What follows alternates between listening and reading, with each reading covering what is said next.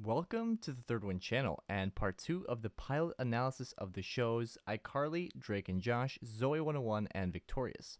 In part 1, we talked about our characters and the way they are introduced, the differences in the main characters, and the character conflicts that are set up.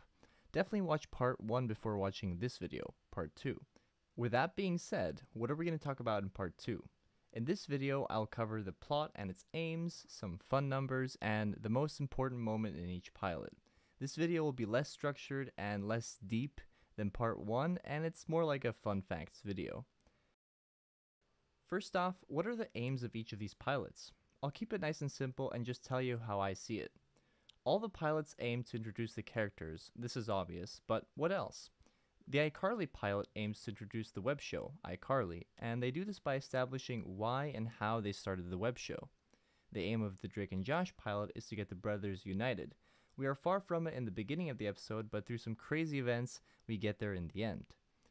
Zoey 101's pilot aims to mend the girls and the boys in a healthy way, the girls proving themselves as crowd favorites at the end of the episode solidified respect for them. Victorious's pilot aims to get Tori into Hollywood Arts and get her to stay there. As simple as that. But we get to see Tori go through many relatable struggles to get to the point where she finds her own footing. The aims of each of these shows are heavily rooted in the main character. Even with Drake and Josh, it feels like it's more about Drake's acceptance of Josh, making Drake feel like the main character. Maybe that's just me, but now let's split off into a fun little tangent. When watching an episode of the show, have you ever thought about how many scenes you see throughout an episode? Growing up, I never really thought about this, but as the purpose of these videos is partially to get inside the producers' heads, I thought, let me count how many scenes there are in each pilot. Before I reveal the numbers, it's important to remember where the idea of scenes even comes from. Scenes comes from theater, a change of scene often signifies a change in setting and the characters present. It's a necessary tool to create a story based around characters, as not all the characters can interact with each other in a meaningful way all at the same time. Now, how many scenes are in each of our pilots? iCarly has 12, Drake and Josh also has 12, Zoey 101 has 10, and Victorious also has 10. I thought this was really interesting, the similar amount of scenes, which I guess makes perfect sense, considering they are all made by the same company. But now, finally, I wanted to close off the first pilot analysis by highlighting my favorite moment and, in my opinion, the most important moment from each of these episodes. In iCarly, in the ninth scene, we see Carly frustrated with Miss Briggs and her censorship of the school's talents. But then it all clicks for Carly. She realizes she can use her new audience to show those censored, talented kids and defies Miss Briggs.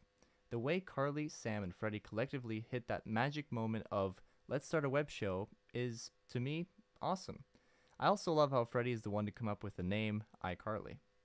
In Drake and Josh, it's simple. In the last scene, Drake tells Josh to hug me brother, and they do, and it's beautiful. In Zoey 101, the moment where Dustin gains the courage to cheer for the girls, that moment for me is key, and it's my favorite. In Victorious, it's difficult. There are many moments that I could label as most important, but my favorite would have to be the one where Andre tries to convince Tori to stay at Hollywood Arts. To me, that moment is just so genuine, especially when Andre goes, Normal's boring. That just about wraps up pilot analysis number one. We did a special two-parter so that we can compare these four series, and it was a lot of fun to do. Let me know what series you'd like to see next for Pilot Analysis 2, and for now, thank you for watching the Third Wind channel, and I'll see you guys soon.